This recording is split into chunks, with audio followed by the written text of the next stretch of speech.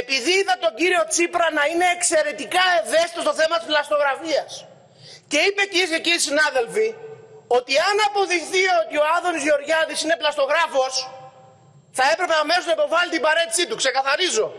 Αν ήμουν πλαστογράφος, εγώ θα είχα παραιτηθεί αμέσως. Για να θυμηθούμε λίγο όμως πώς είναι η ευαισθησία του κυρίου Τσίπρα για το αδίκημα της πλαστογραφίας. 3 Αυγούστου 3 Αυγούστου του 2016, την ίδια χρονιά που επέλεξαν και τον κύριο Κατοπόδη, ο κύριος Νικόλαος Παρασκευόπουλος, υπουργός του κύριου Τσίπρα, έφερε στη Βουλή τον νόμο 4411 του 16 την αποσυμφώση των φυλακών. Με αυτό παραγράφηκαν αδικήματα με πλαίσιο ποινής στα δύο έτη, ενώ ως τότε όλοι οι νόμοι αναφέρονταν σε πλαίσιο ποινής ενός έτους. Επίσης εξαιρέθηκαν από την παραγραφή σειρά αδικημάτων συναφών με την πλαστογραφία, όπως παραδείγματος χάρη πλαστογραφία και κατάχρηση ενσύμων, ψευδής ιατρική βεβαίωση, πλαστογραφία πτυχίου κτλ.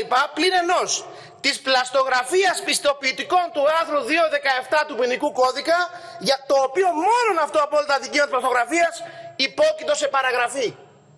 Την ίδια στιγμή που ψηφίσατε αυτό το νόμο για την πλαστογραφία, κυρίες και κύριοι συνάδελφοι, ο αδελφός του κυρίου Τσίπρα καταδικάστηκε από δικαστήριο ως πλαστογράφος αλλά λόγω του νόμου του κυρίου Τσίπρα δεν μπορούσε να καταδικαστεί σε ποινή διότι είχε προλάβει ο αδελφός του προηγουμένως να του δώσει παραγραφή.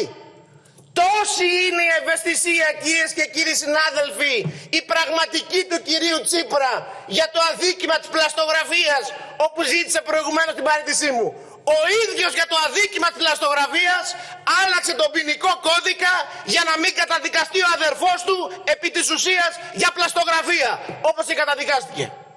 Να ζητήσει παρέτηση από τον εαυτό του λοιπόν ο κύριος Τσίπρας που τόλμησε να κάνει κάτι τέτοιο στη Βουλή των Ελλήνων.